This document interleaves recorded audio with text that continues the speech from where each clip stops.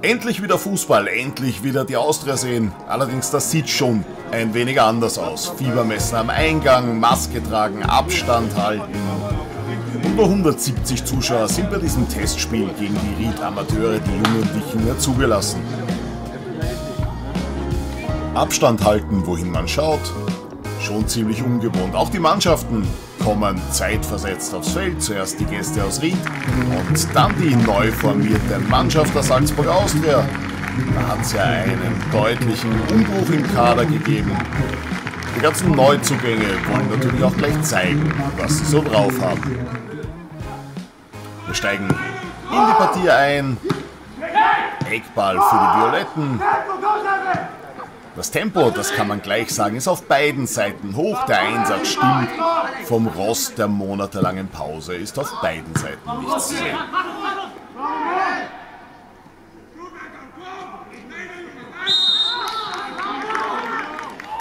22. Minute, Sandmeier auf der linken Seite, herein zu Hödel und der setzt den Ball in die Maschen.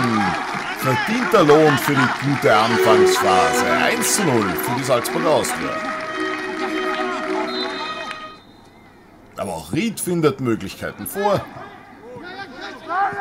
Kreins spielt hier schnell aus der Abwehr raus. Und Schweighofer, der ist nur mittels Textilvergehen zu stoppen. Aber das Capelli-Trikot, das hält das sicher aus.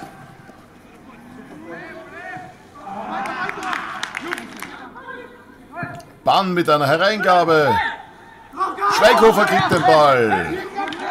Direkt geschossen, aber abgeblockt.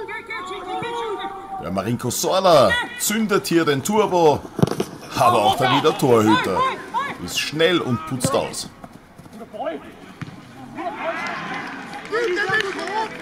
Halbzeitführung 1 zu 0, stoische Mine beim Obmann Klaus Salzmann.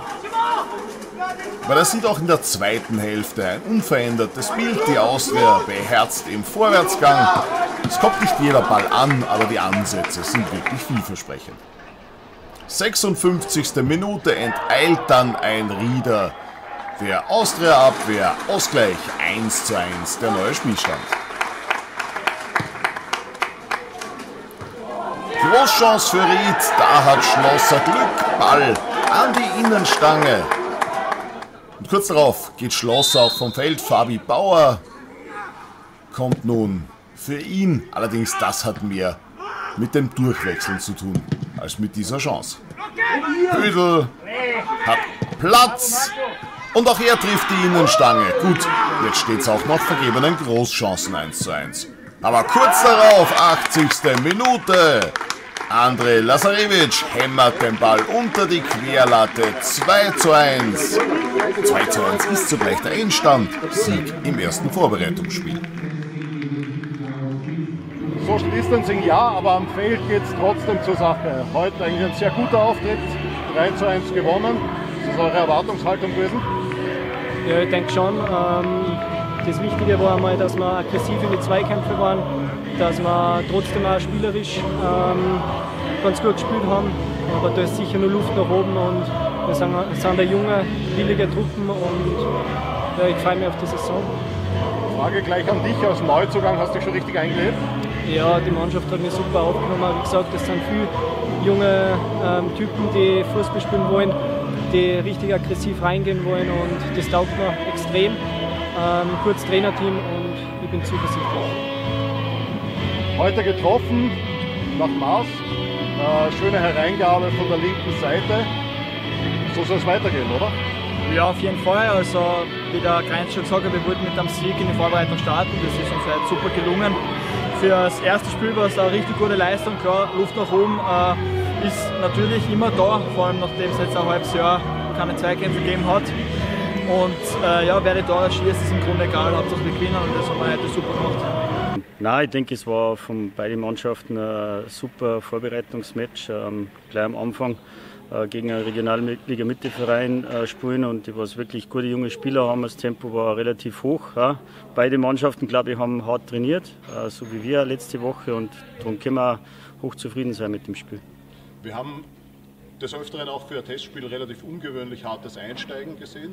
Ist das die Motivation auf beiden Seiten oder fehlt da einfach nur ein bisschen das Timing? Nein, ich glaube, dass beide Mannschaften hoch motiviert äh, waren. Ich glaube, unsere Mannschaft sowieso äh, nach so langer Abstinenz im Heimspiel dann doch nur vor Zuschauern, da sind wir richtig glücklich drüber. Und ich glaube, es hat auch heute super funktioniert mit dem Hygienekonzept bei uns und, und sie haben sich voll reingehauen und haben, glaube ich, auch zu Recht dann zu uns. Stichwort Hygienekonzept, das bringt doch auch für den Trainingsbetrieb die eine oder andere gravierende Änderung. Wie ist das bei euch? Wie geht es damit um?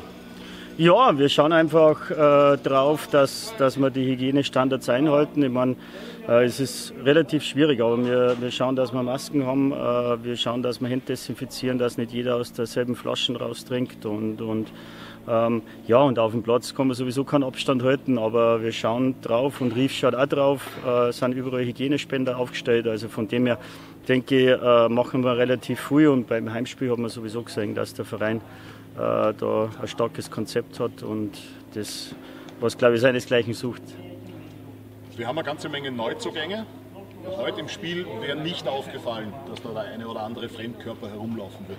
Kann man daraus schließen, dass die sich schon ganz gut eingelebt haben? Ja, ich meine, die neuen Spieler haben sowieso schon während, äh, während Mai mit uns trainiert. Ähm, man hat einfach gemerkt in den Trainings, dass die Mannschaft charakterlich und, und vom Fußballerischen gut zusammenpasst. Das hat man auch gesehen. Es haben auch noch etliche Spieler gefehlt, urlaubsbedingt, verletzbedingt. Aber gerade äh, heute waren wir blutjung aufgestellt und, und äh, da sind wir froh, dass unsere jungen Spieler und die, was wir geholt haben, äh, richtig gut funktioniert haben. Austria Obmann, Klaus Salzmann, wir stehen hier im mittlerweile wieder verlassenen Max-Eicher-Stadion. Ähm, Premiere nicht nur in die Testspielsaison, sondern auch in diesem ganzen Fußball- und Corona-Wahnsinn. So schlecht hat es nicht funktioniert, oder?